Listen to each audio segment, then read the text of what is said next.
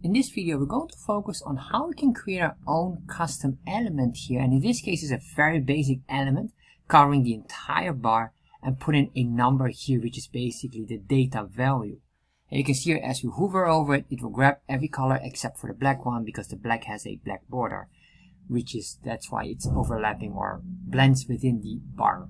But let's start to look at how we can create this effect. So let's start to explore how to create a custom element on the bar on Hover in Chart.js. So the first thing what we need is we need to go to chartjs3.com getting started, this specific link here, which you can find as well in the description box. Once you're on here, copy the boiler template here, copy this, and if you want to understand this code, make sure you watch this video here. Paste it all in there, cut this out, and then I'll put that all in here. Save. Refresh. All right so now I have this. What I want to do is I want to maximize the size here. Let's make this 80% save. Refresh. What I want to do and I want to do something very basic but of course you can do it very advanced as you understand this is to just cover up this entire bar with a new element. You might say if we do on hover we could just change the background color. That is correct. But that's not really the focus here. The focus here is to cover to create an a shape on top of it that fits exactly on the bar, and then of course have the text in the center, so we make our own data labels basically, or our own data labels plugin. So to do this, I'm going to say comma here, plugins, um, bracket, then we can say here, let's call this our bar box, because it will be a box on top of the bar. So then I'm going to say here, this plugin uh, block, then I'm going to say constant bar box, and then we have to make sure that here curly braces id equals that. And then we can say here when would we like to draw that after the data sets? So we do the data sets first and then we draw this item on top of it. And now what I want to do here is the arguments is chart args and plugin options. Although we won't be using the last two so then what I want to do is an object destructuring. To say this equals, and if you don't know what an object destructuring is, please look in my uh, description box. There's a video called Understanding Chart.js Object Destruction. Very important. But basically what I'm going to do here is split out the object of chart. And what I need here is a few items. Uh, the CTX, the chart area might be useful, and specifically the top and bottom. And then we have more comma maybe the the data itself and we have of course the scales. So here x and y. And if we don't need any of these we can always remove them afterwards. So that's no problem. So now we have this. And what I want to do is first of all I want to show you a special command that will trigger if we are hovering on top of a element yes or no. So what I'm going to do here is I'm going to say a chart dot get dataset meta index. And this is a built-in functionality of chart.js so you say index 0 but this is like a function. So that's why we have here these parentheses. Now we say dot data. And if I do now a console log you will see if I save this refresh open up the developer tab you can see here or the console log you can see here we have all this information here and you can see this is very interesting. Active false or true. The moment it is active means that we're hovering on top of it. All right so you can see it does something and then let me just show you. We're going to say here index 0 dot active. So if I save this refresh and if I go and hover on this one you can see this is true now. Active is true. If you move away or if you move away from it, you can see it's false. So this information here is very useful for us. Alright, so now we have, or now we are able to track if it's showing or if we're hovering on top, yes or no. Now we can continue on with the most important part. So what I'm going to do here is first of all, we have all of these. And of course, I don't want to only track of index number zero or of data index 0, which is this one, I want to track them for all of them. So what we can do here is just a for each loop. So I'm going to grab this. Now I'm going to say here this, and I will say dot for each. So we're going to loop through this array, and we're going to put in like these, function arrow expression, and of course double parentheses here. So then what we're going to say here, the shorthand, let's call this our metadata. We have our metadata, and then we can get also grab the index number because that might be very useful. And what we want to do now is create a simple if statement. if metadata dot active, meaning basically the shorthand of this and active, but of course it loops through every one of these bars. So we'll see here if this is active equals true. In that case, what I want to do is, well, let's say your console log. Uh, let's do the index. Make sure that index is a variable because it's a variable here. So then, let's save this, test this, open up developer tab. Let's make this a little bit there. Then if we go, you can see here, it shows false, true. Of course, it loops through it, and after that, it gets the value here. So it does recognize the item specifically on the one that we're hovering on, and that's most important. So now what I want to do is let's remove this and start to draw something. So let's draw here our nice simple bar that will be on top of this. So what I'm going to say here is ctx.begin path. So I want to make a new shape that's independent of all. And then I'm going to say ctx.fill style. And the fill style of this, you could grab the official color here. For now, I will just do it simple and make it black. So it's easy to spot. And then what I want to do is ctx.fill rectangle. And this fill rectangle basically requires the coordinates. So we have here the x starting coordinate, the x of the y starting coordinate, and then we have here the width and the height. For now, let's make this just 10 pixels, 10 pixels, 10 pixels, and here as well. Save that, refresh. And if I hover over a specific item, you can see it shows here this nice square or a square box. So this all works, but of course I want to make sure that this square is covering everything here. So how do we do this? How do we get these coordinates now? Remember we have the metadata. There's still a lot of additional information that we could use. And uh, we can just do it in here. That's fine because it doesn't matter if it's active or not, but the width, height, and the coordinates are always in here. So if I save this, refresh, we get a lot of information and let's go on one of those. Alright, and then we grab this. And then you can see here the following. We have here the base that is 40, uh, uh, 412, that is basic this here, which is quite interesting that they already have that ready. And then we have here the y, x coordinates, and we have the width, and we have the height. So because we have this here, that makes it really easy. So what we can do here is, first of all, our starting point on the x, we can see here what is the starting point on the x is this one here.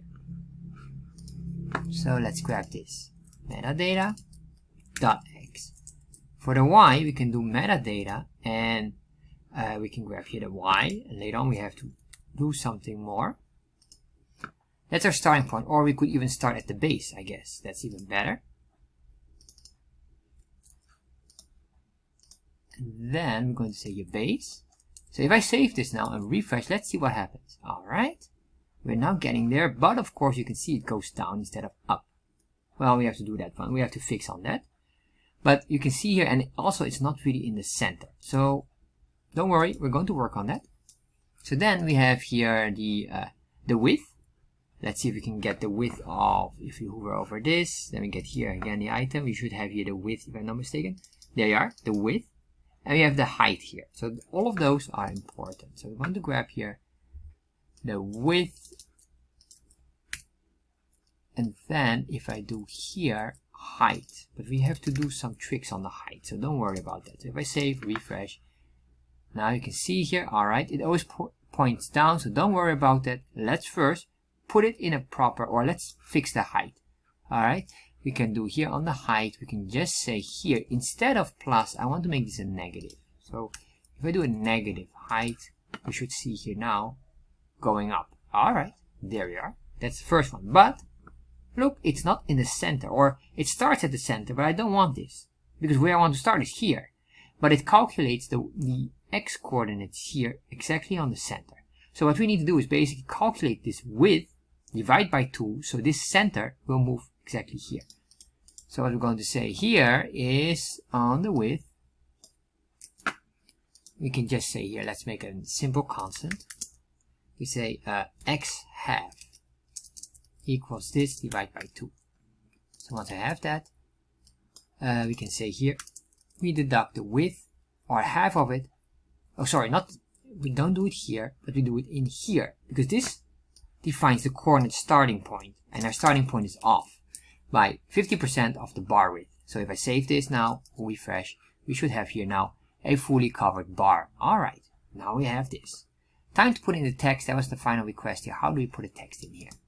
So what I'm going to do here, enter, enter, we're going to say here ctx, and what we're going to do here is, we say here font equals, and let's make this bold, 12 pixels, and then sans serif, which is the default uh, font family, serif, font family of Chart.js, and 12 pixels the default font size being used. So then we have this, we're going to say ctx, and then finally we're going to say ctx fill style, and I will make the fill style white. And of course you could grab these if you want, or maybe that's nice to do. So what I will do is, I'm going to get this data here. Basically, this data refers to this here data. Then I go to data sets, and you can get the border color. So I'm just going to do that one. So we have that as well.